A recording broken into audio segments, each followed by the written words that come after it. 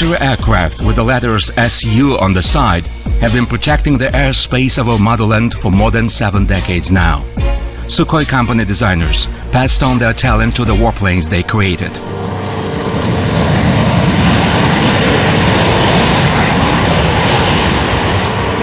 This talent is the skill to be able to select precisely the right target.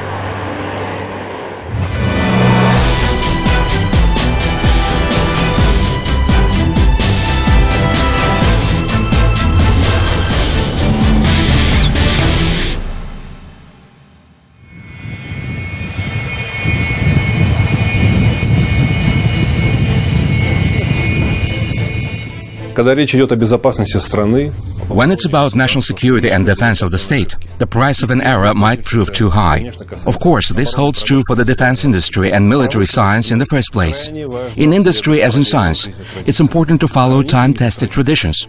A school is the guardian of these traditions. A distinctive feature of aircraft designer Pavel Sukhoi is that his design bureau has always tried to make shortcuts and to be the frontrunner.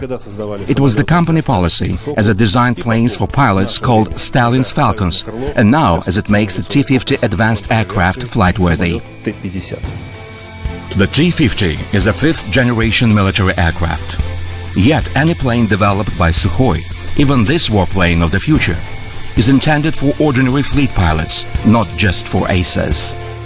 Основной критерий при проведении испытаний The key criterion in trials, with test pilots demanding, requesting, persuading and even begging, is that the plane be such as to enable a person of sound mind, an ordinary pilot, so to speak, to easily accomplish absolutely any mission in most adverse combat conditions. As I was descending, my variometer began to give odd readings. I want to say that the Americans have the F 22 and the F 35. We didn't retrace the path of emulating one of these projects, trying to create a balanced system instead, which would secure superiority over potential rivals. T-50 chief designer Alexander Davidenko believes that the plane has integrated the best Sukhoi company achievements.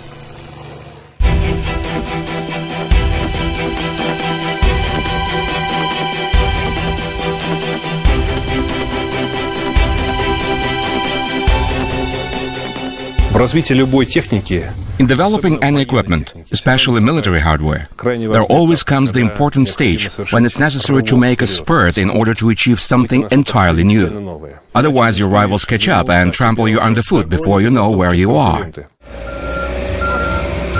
The T-50 has become the first Sukhoi warplane featuring complete digital design. сегодня в мире Production of equipment in the modern world is not possible without using computer-aided design or creating a digital mock-up. In working with digital mock-ups, Sukhoi company designers also use supercomputers created at the Sarov-based Federal Nuclear Center. Today we have an opportunity to simulate the behavior of real systems in real operating conditions which enables us to predict the behavior of the plane.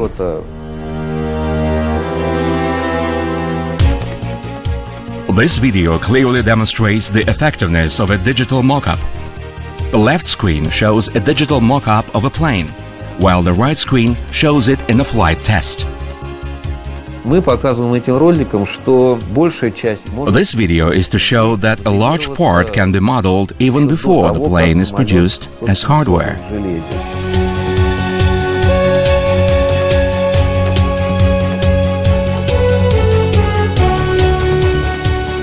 работа. Our work can be as fascinating as a game. As digital design was introduced, all young designers claimed that computer-aided engineering was much more interesting than drawing. The Sukhoi company has an original system to attract young people. This helps it maintain top performance level, despite the natural change of generations. There are many young people both in the design bureau and on assembly lines. This is the Yuri Gagarin aircraft plant in Komsomolsk-on-Amur. We cannot show the T-50 assembly shop because it's a top secret plane. However, the T-50 has integrated much of what was used in developing the Su-35, which is assembled in this shop.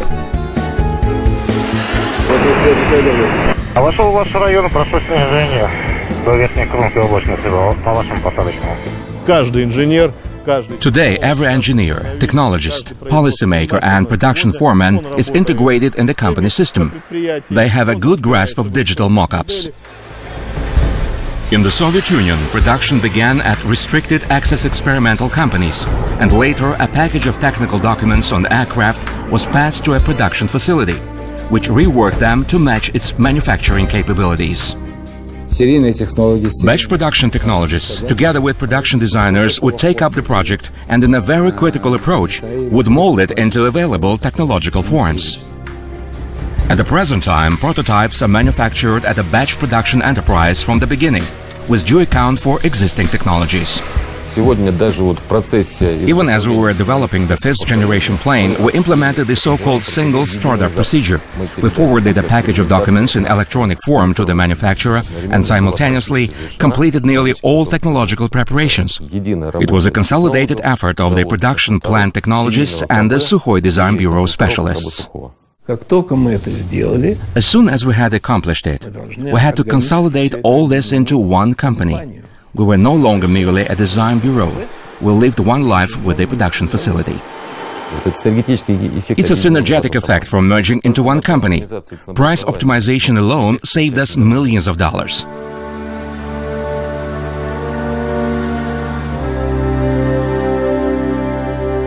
An earlier government policy was to order chief designer to build such and such plane, never mind the cost. At present, Sukhoi company cannot afford it, otherwise it might face bankruptcy. With a permanent austerity budget, any government will only finance realistic projects, not just beautiful, modern or fashionable ones, but realistic projects, meeting the cost-quality principle. Sukhoi Company is just a firm offering cost and quality effective projects, and it delivers quickly.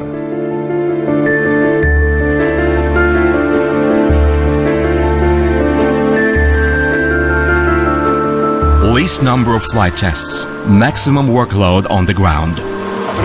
Taking off. Thanks to this approach, the T-50 was developed in just eight years, a short time for the aircraft industry. The T-50 development involves a tremendous number of test benches. All the work runs on test benches, and flight tests only deal with what was confirmed by bench test results. Designers have been working jointly with test pilots almost from the beginning of the project to develop the new aircraft. Pilots are directly involved in the development of new planes. I recall a line from Vladimir Vysotsky's song I've known you since I saw your schematics. Of course, you know the plane, yet it's only a flight simulator that lets you see how the plane can fly. Ready for takeoff. It's the designers of military aircraft who are the first to start its virtual flight. The Su-35 is the first multi-role single-pilot jet. Enabling one person to combine the function of pilot and operator is a quite difficult task. It requires a thorough drill of the logic of interaction between the man and the machine. машины. Влияние летчиков, оно просто колоссальное. Pilot's influence is tremendous because many things are about ergonomics and man-machine interaction. И тут You want to meet pilots' concrete requests. выполнять Setting a course for combat mission. Влево. Переберем. Комби. Подтягиваем. Переберем 85.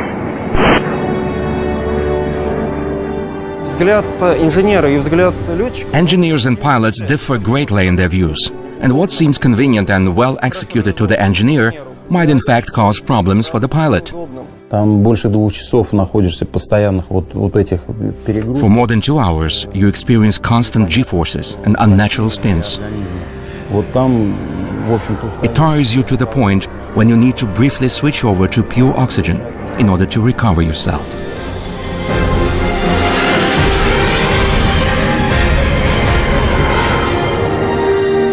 This test bench brings together parts of avionics manufactured at different companies, which have to interact for the first time. It's the designer's job to have them function together as one whole. We can run dozens of simulations a day and launch as many targets as we need. We can check out the complex modes which can hardly be done in real flight, simply because they are too dangerous. I'm losing altitude. Slightly, of course. Okay, I'll try to capture the glide slope. I have to gain altitude. I just lost track simply, I lost track. A modern combat sets high requirements both for the pilot and the plane. The tasks the pilots have to perform today are far more complex compared with what they had to do only recently. Whereas a plane could fire some five different types of missiles before, the present-day range of armaments reaches 42. Furthermore, they have to be fired simultaneously to engage different targets. Now I'm flying the glide slope too fast. 200 meters isn't good for landing. Will collapse the struts if I go on. But then I'm not a pilot. It's a computer game, in a matter of speaking, but the difference is that it runs on real aircraft equipment. The tradition to minimize the number of flight tests in order not to risk the pilots' lives dates back to Pavel Sukhoi's leadership. Pavel Sukhoi's style of designing warplanes always stood out and became known as Sukhoi's style. It envisioned a maximum of new solutions and a minimum of risks. In other words, it was sound technical conservatism. Pavel Sukhoi's surname, which means dry, was a very fitting description of that man.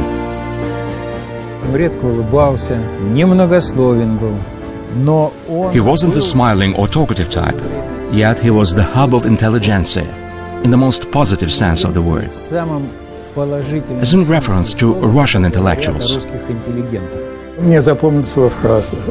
I recall Pavel Sukhoi's phrase if a staff meeting lasts more than 20 minutes, it means it was poorly prepared.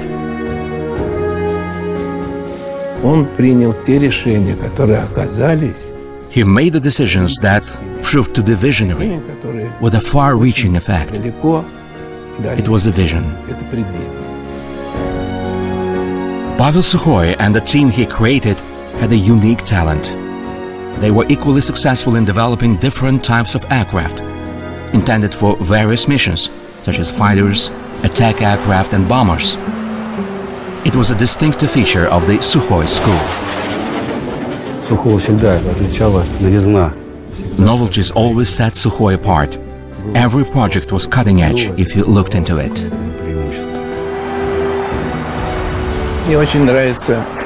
I like Winston Churchill's phrase about doing today what other people will think of doing tomorrow. This is what we can do. It seems we can do it.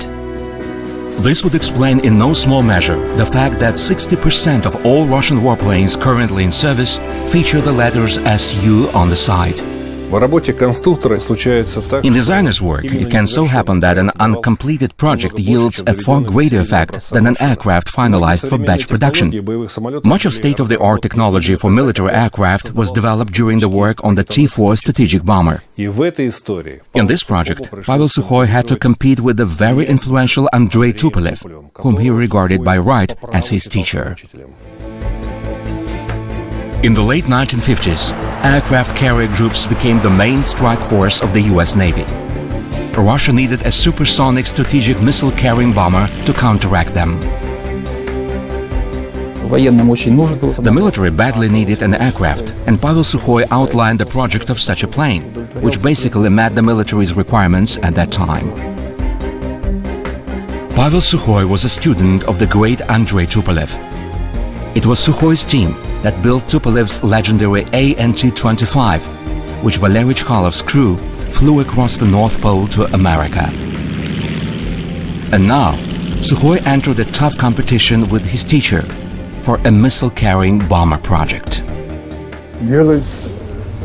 Making a long-range supersonic bomber wasn't in our line of work absolutely.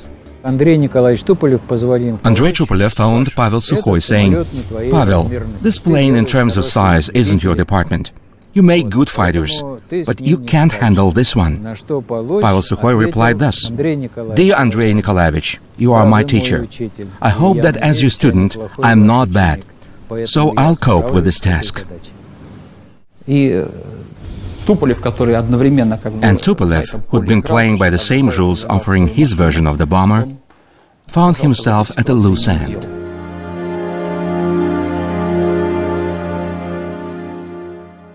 The bomber was codenamed T-4, but design bureau insiders called it Sotka, meaning 100. The unofficial name reflected an expected takeoff mass of some 100 tons. Eventually, the mass actually reached 120 tons, but the name stuck. Aviation statistics show that a new plane's novelty coefficient does not normally exceed 30%. For the T4, it made up a staggering 95%. During the T4 development, some 600 inventions were made and implemented. It required new pressure, drives, and technologies. Titanium welding was done for the first time in our aircraft making. After the T4 or Sotka made 10 successful test flights, the project was unexpectedly closed.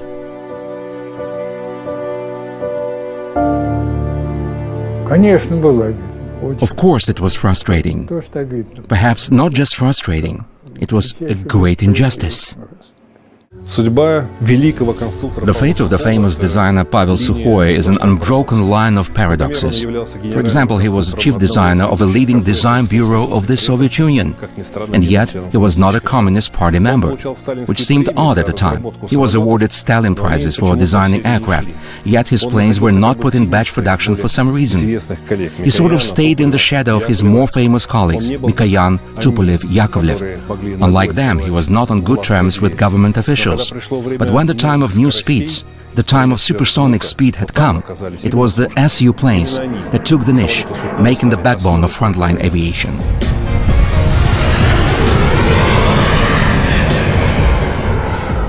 The T4 used the so-called fly-by-wire system for the first time in our country.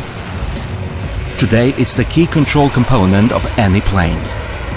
The cable routings through which commands from the cockpit are transmitted have multiple backups, so reliability is among the key features of Sukhoi planes.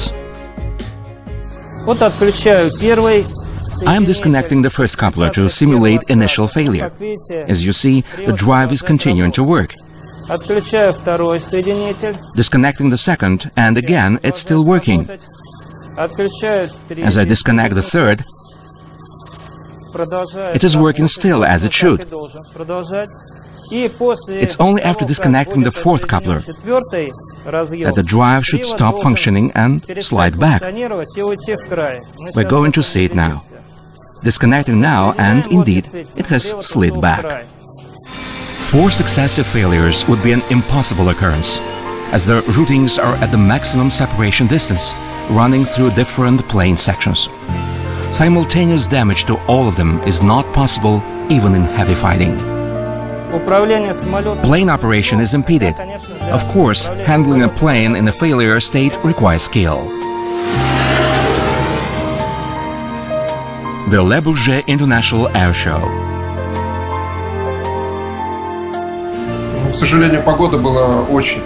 Regrettably, the weather was very bad, with low clouds, rain and a possible thunderstorm.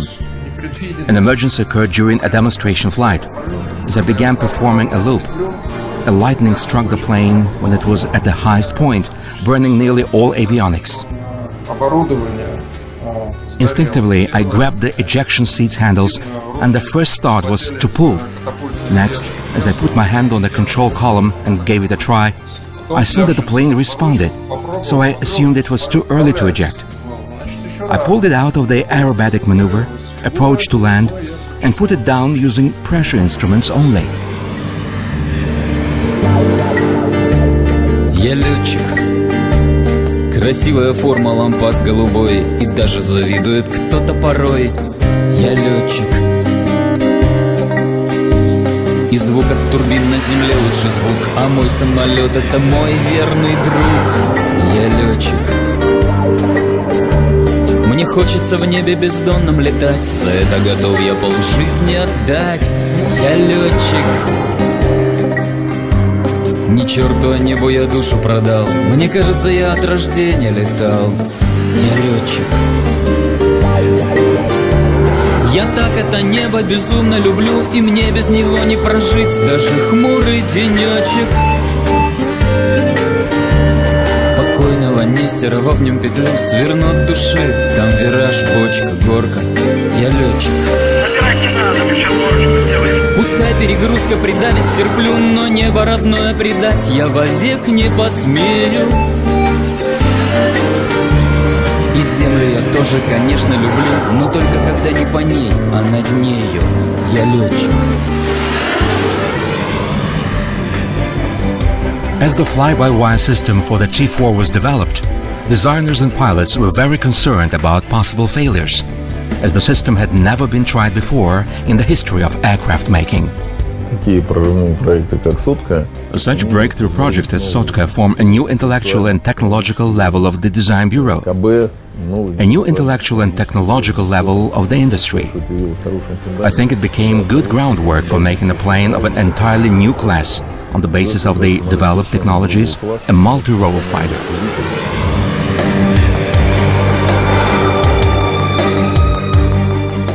The Su-27 was developed as a heavy class fighter with a primary objective to gain air superiority. If necessary, it could be strategic bombers escort on long-range missions. When the Su-27 appeared over the North Pole as bomber escort for the first time, it impressed the world greatly, because no such thing had ever happened before. This plane had to become our response to the US fourth-generation fighter F-15 Eagle. But when batch production of the new Su plane began, it became evident that it was inferior to the US counterpart. Clearly, some performance characteristics, though fully acceptable to the military, had not met the targets. Mikhail Simonov was appointed chief designer of the Su-27 in February 1976. It was up to him to decide what to do with the new plane. He had to convince the Soviet Minister of Aviation Industry that a drastic revision of the project was crucial. I should say that within a very short time frame a plane was created which was in fact absolutely new.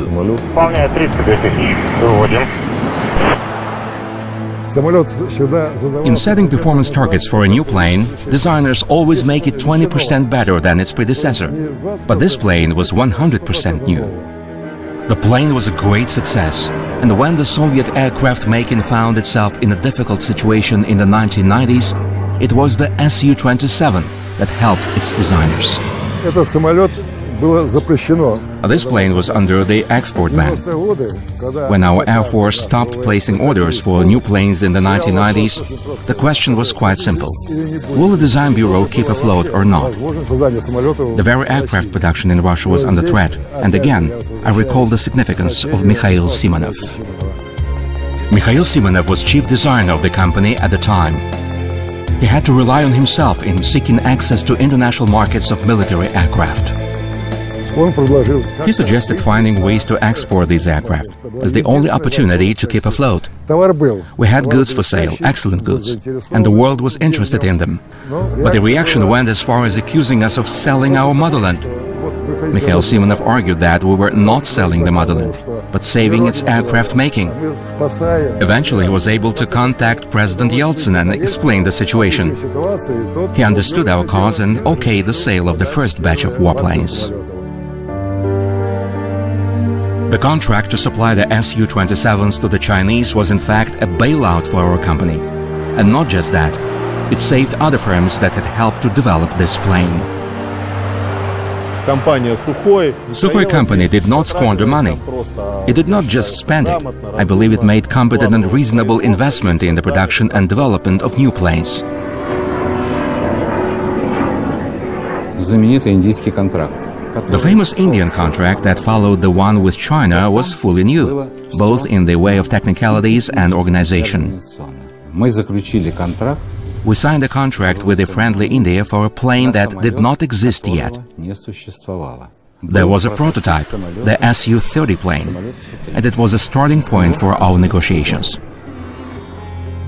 In an unexpected outcome of the 18 months talks, Russia offered the Indians an entirely new warplane, which had yet to be designed.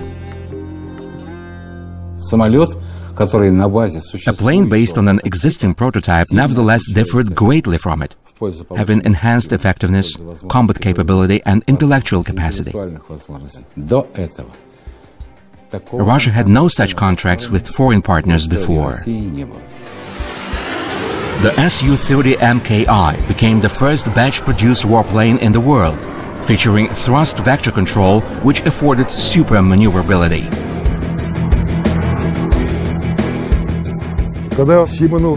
Simonov said that having kept the design bureau afloat will create new planes. All these ideas and his thoughts have come alive today.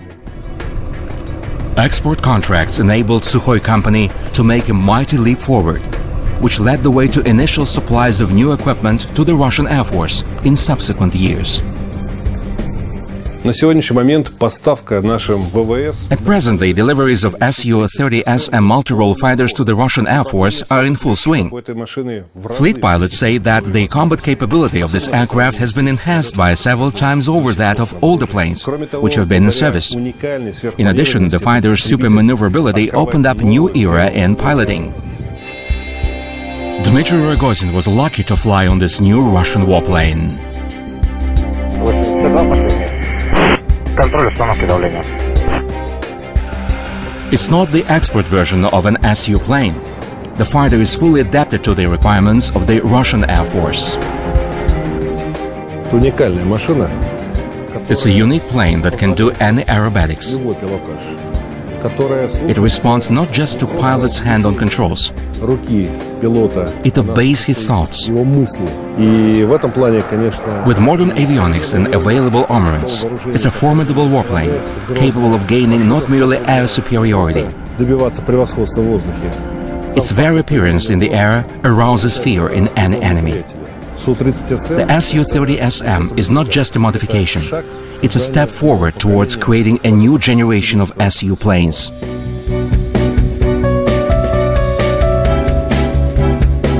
Over three decades, Sukhoi company created a unique family of aircraft based on the Su-27. They are the Su-33 deck fighter,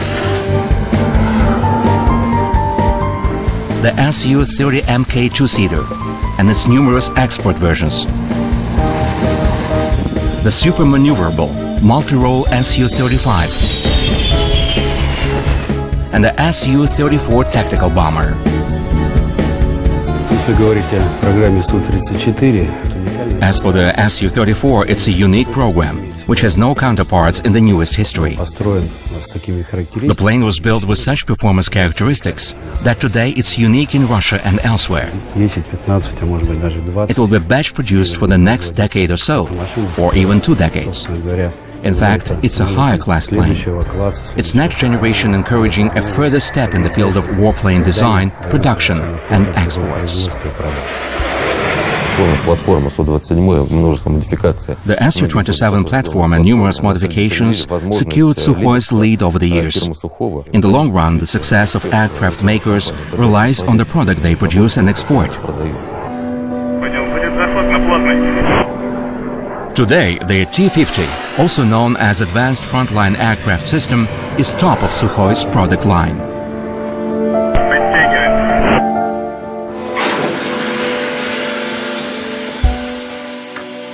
In making any sophisticated equipment, errors are inevitable. A reliable checkout system guaranteeing flight safety is key. These errors are checked out from the very beginning, till the end of service life, to guarantee fault-free performance throughout all operating life, with due maintenance and repairs. In order to secure fault-free operation, we have to do 30,000 cycles. Every 7,500 cycles, we remove and disassemble components and inspect them together with the designer and the manufacturer for wear and tear, replacing the bad parts the number of these cycles should exceed that of a real plane by five times. In other words, the landing gear is given a five-fold margin of safety. Things are quite different with the airframe, because it does not require such safety margins. This is a static test shot which is number one test bench. It has top priority as it clears the plane for flight. This means that the test results are crucial for the plane to take off. It's a sort of the final checkout of the designer's solutions, manufacturing methods and production assembly. This is the T-50 plane. This is the way it looks in the static test shop. It's actually studded with sensors. In strength tests, the stress load put on the plane matches the actual in-flight stress.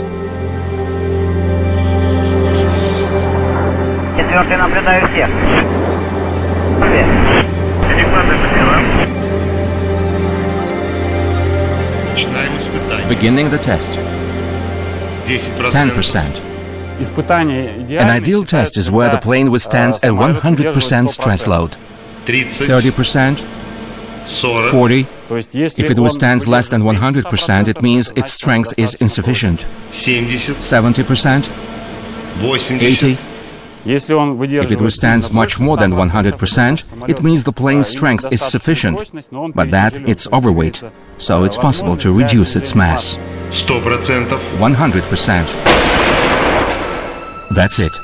This plane part has passed the test. It won't let down in a fight. Поля 90, захожу на уход. Понял. Боевые самолеты с литерой СУ на борту не только... Sukhoi warplanes not only have been protecting the borders of the country, they have proved themselves very well in military conflicts of the recent decades. Поэтому были That's why almost 40 countries imported Su planes, while in some states they make up the backbone of their air force. ВВС. The Su-7B was the first fighter bomber produced by Sukhoi Design Bureau. The Su-7 was initially designed as a frontline fighter and later developed as a fighter bomber. The whole family of Su-7B aircraft was developed along this line, that is by enhancing the combat qualities of the fighter bomber. The plane was the main attack aircraft of our frontline aviation for a long time, and it was appreciated abroad as well. By the time the Indo-Pakistani War had broken out in December 1971, the Su-7B was the bedrock of the offensive power of the Indian Air Force. По отзывам индусов, Су-7Б очень неплохо себя The Indians praised the performance of the Su-7B in the Indo-Pakistani conflict. на боевую нагрузку 2 тонны. А кроме всего прочего, It had a оказалось, rather powerful combat load at 2 tons and a high tolerance, meaning that many aircraft, though seriously damaged, were finally able to return to the airfield. Perhaps it's the legendary Su-25 attack aircraft that happened to do most of the fighting. As the designer said, it was a flying Kalashnikov rifle, simple, convenient and reliable. The Su-25 performed particularly well in Afghanistan. Так называемая Фарахская операция, это было накануне 9 In the so-called Farah operation on the eve of May 9, 1980, Soviet land troops tried to enter a gorge accommodating weapon depots and food stores. Оружие, продовольствие. Наша пехота напоролась на... The infantry met with tough resistance. На одну из машин. Eight 500 kilogram penetration bombs were loaded on a Su-25 to engage reinforced concrete bunkers installed at each turn of the gorge. A second plane, meant to engage manpower, carried 32 100-kilogram bombs. Our planes flew sorties for two days, not more. And then Soviet troops came through, entering the gorge without firing a single shot.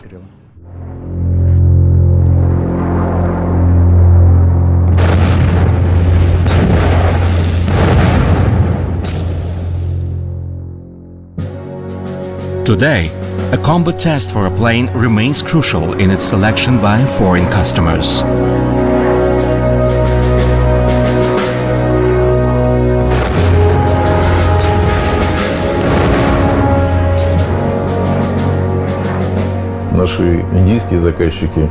Our Indian customers found another trial formula for our planes, involving them in joint exercises with the Americans. The outcome of these airfights confirmed the effectiveness of our aircraft. This means that even such unorthodox forms of comparison of warplanes confirm the effectiveness of Sukhoi developments. Designing a plane is just part of the job. It's also important to make it fly. At present, Sukhoi company runs the most powerful and productive testing center of Russia's aircraft industry. Any complaints? No complaints. Ready to fly. Pilots of the Sukhoi Flight Test and Development Base fly 1,500 sorties a year. 125 over 80. This is exactly where all new Sukhoi planes are tested, including the T-50.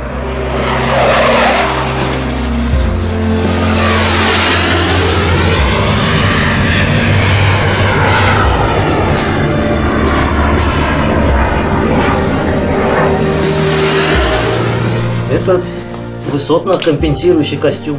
It's an altitude compensating suit. В случае разгерметизации самолета, Its acronym is VKK-15. если происходит разгерметизация, соответственно, чтобы It's used in case the plane depressurizes at high altitudes.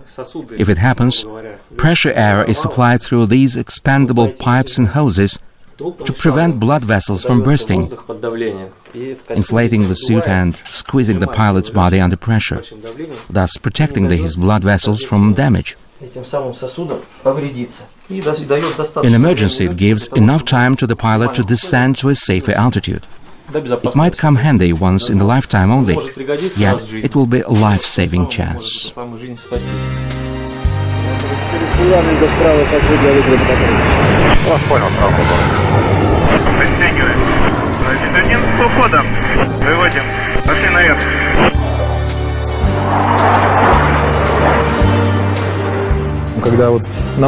If you want to display a plane to advantage at the MAKS airshow, you have to load it well, and you can experience G-forces up to 9G. This happens quite often.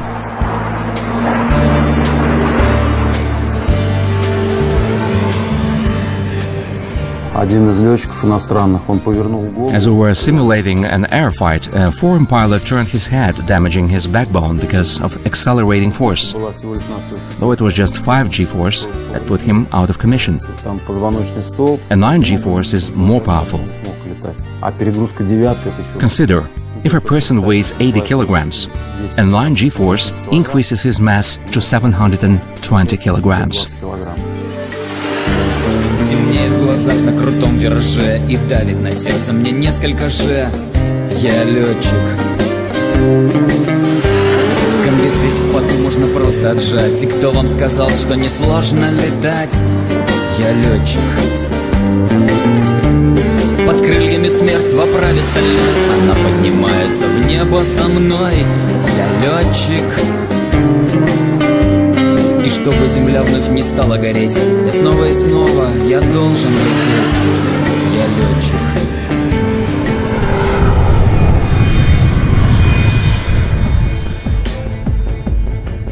There is compulsory recording of all flight data of any flight, which is later analyzed. These hard drives store information on 15,000 parameters. Ну, как правило, в испытании... As a rule, no flight test is like the other. Each has to bring something new. What good is going over the same thing again? Nevertheless, the targets evaluated in a previous flight reveal some shortcomings or faults, so they are re-evaluated for statistics. Any aircraft has two such data storages, each with a 40 gigabyte capacity. The data storages are necessarily Russian-made and very reliable. Уникальная вещь. It's a unique thing. Most importantly, it's built solid. That is, it has no connector cables. It has a normal port. There's just one way you can insert it. You can drop it into water or hit it. That is all made Russian style, which is very right.